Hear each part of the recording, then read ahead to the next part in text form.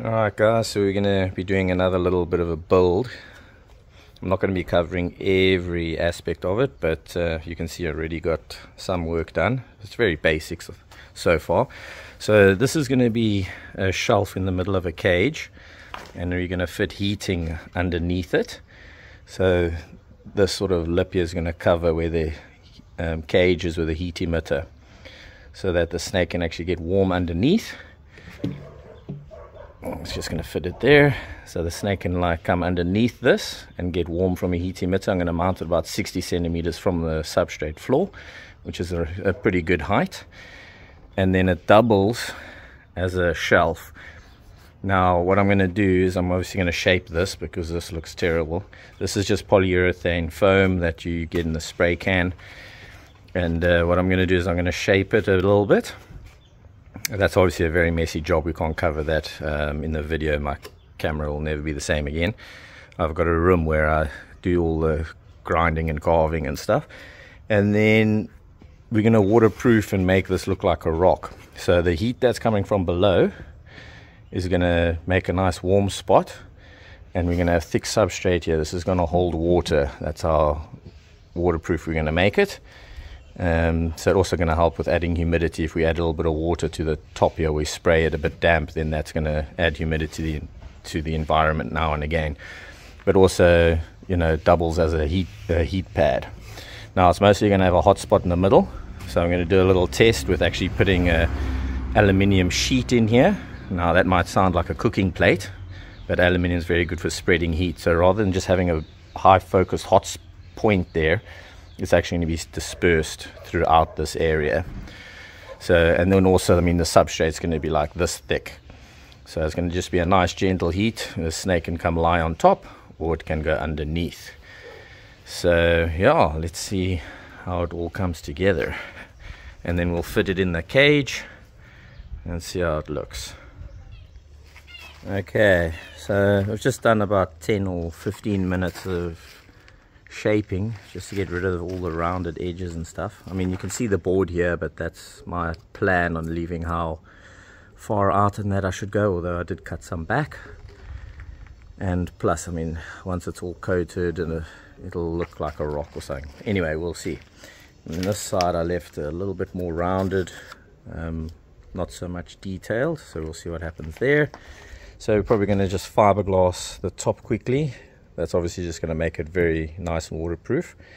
You know if I just use a certain type of epoxy resin or whatever it's going to eventually it could crack from the heat and then it could leak down through. So we're just going to probably put a few layers of fiberglass up here. I'm just using some offcuts and seeing what I can work with. Probably got to obviously pat a little more in the corners and stuff like that. So yeah. But uh, so we'll see what this looks like once we've got all the final layers on. So just finished the sort of base coat. So now obviously because we used fiberglass resin and the mat on top here, this uh, fiberglass resin firstly is toxic. So this is why we're going to have to coat this whole piece with an aquarium safe epoxy type resin so obviously it's gone nice and hard. We've gone all around it we threw some sand on as well. With our epoxy and all. That's going to obviously be shaved and what have you. But it's giving a a little bit of a look now. The final coat we'll give it all the detail and everything. Not obviously going to make it as coarse as like sandpaper but you can see it's really nice and hard already. So here's the finished product. Um, it came out quite nice. It's not my best work but you can see we got some pretty cool detail. So that's obviously where I did most of the shaping. And then this side which I kind of didn't do much shaping. I just want to see if a different look. It's not going to be so visual it also doesn't look too bad and then it's nice and waterproof so this will actually hold water on top not that we want it like holding water, but it's going to get damp and wet and stuff, and that's obviously wood wouldn't handle that. And I've got a little bit of runs with the paint, but it is what it is. Or maybe fit some moss hanging over it or something, it'll look pretty cool. Yeah, but it's mostly for the functionality of this shelf. So let's get it fitted and see how it looks. Alright guys, so just a quick look at how I've mounted the shelf. You see it's just an aluminium bracket. And then pinned the wiring down because you don't want the snake going over that and ripping it out. And then we've got a nice 150 watt heat emitter here with a protective cage. And you must make sure obviously that the screws are not too long that they're going to go through the board into the top because then you're going to have a hole where water gets in and that's just going to be very problematic.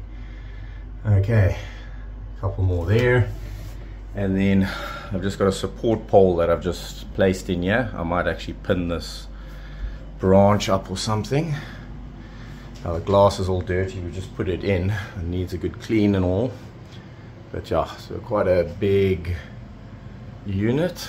It should work quite nicely. I should have actually put some more of a um, cover over here, but I was worried where this branch is going to end up, so I didn't fiddle too much there.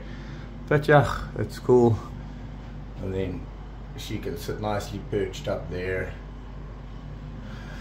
Very cool. So I just need to actually fit the probe for the thermostat or the dimmerstat I'm just gonna have the probe hanging in here the heating's been running for 24 hours.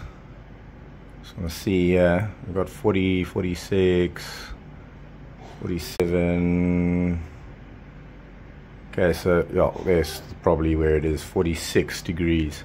So I mean that's pretty hot. That can actually burn an animal.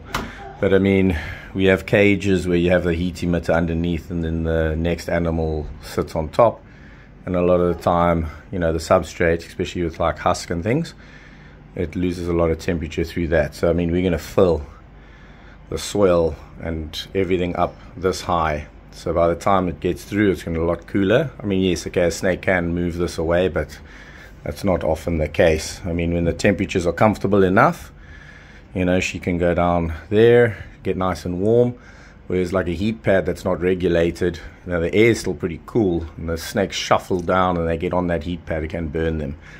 So I also want to do a test. So we're looking at 40, 40, almost 50 degrees in some places, yeah yeah, that's pretty darn hot. Okay, so it's something we'll work on and see how it goes with all the substrate and everything. Right, so I've got an aluminium plate underneath here. Be able to see. There. The problem is a lot of temp guns they don't actually pick up the temperature of um, reflective surfaces very well. So you have to have fancy ones. You see, it's got different modes as well, but this one's not too fancy. So I've just put a very, very thin layer of peat. And uh, we got 20, 29 now. That's already quite nice. But it could still be heating and things like that. But it's definitely made a huge difference when I feel it. And then also the aluminium plate's not totally flush. When there's more weight on it or the snake sits on it, it's going to get warmer. But it definitely helps to spread the heat quite a bit and again we're still going to be packing quite a lot on here so I'm going to play around with it and make sure everything's 100% and then what I can also do is put insulation between the the bottom of the board and the aluminium plate so like a filter media for fish tanks. You see it can move a little bit. There's like hollow spaces and stuff like that. Even air spaces are going to help to dissipate that heat. And I've also got another idea which maybe we'll cover in another video one day um, for doing a, a, hollow middle so there's that air space and then I can actually control the temperature on top with little things but I don't want to give away too much. So yeah I'm just going to pack some substrate on here and then get her back in. Looks quite cool. The moss is nice and soft. When she wants to come over this is all probably going to go all over the place but we'll see. This is Goldie and she is an albino. For those of you Americans, albino. Uh, she is a white phase tiger, She just tried to eat me, so she's just going to give her a little tappy tappy. It's not food time. No, she's sometimes a little difficult with the feet. Now I have to get up onto a steppy ladder here. Sometimes she takes quite a lot of convincing it's not food, but I can see now that she's... Hey, hey, hey. She's a funny one, I tell you. You can see she was looking a little interested there again. So I just want to just touch her and let her know, hey, it's not foodie time. She'll probably try and chow me or something. Uh-uh very, very inquisitive. I've got to get a little more handling on her. All right, so she is loving the shelf. Her body temperature is 26.3. So I just want to move her a little bit so that we can actually see what the temperature is doing underneath her there. Oh no, she's a funny one, eh? She's trying to like push against my hand and everything. She really wants to eat something. Okay, let's see if we can shoot in there. 28 degrees. That is absolute perfection. That's exactly what I want. So this is working really, really well. She looks like she's ready for her first meal, obviously. She is an absolute nutter. But yeah, since we've checked, she's just coming for me again. It's not food time. I really don't want her to just see the warmth of my hand. So normally you just give him a little tap and then that's it. It's over and done with. But she keeps stalking me. Got to be very careful with this snake. Okay. Is that just a little bit of a poop mark? Uh, that's a little piece of moss or something. Oh, so she's a beautiful snake. And yeah, since we put her in here, she came down to her time to the bottom here. Where we've got also 28, exactly what I want. That's working really well. So she first curled up in the bottom here, and then at night time she came up top, and she has not moved. They just love their shells, although we're not seeing what's happening early in the morning. She is a nocturnal species. But yeah, this is working out really, really well. Okay, and soon she'll probably need another upgrade. Cool, so I hope you guys enjoyed this video on this build. I'm pretty happy with how it all came out. And uh, yeah, we'll get on to the next one now.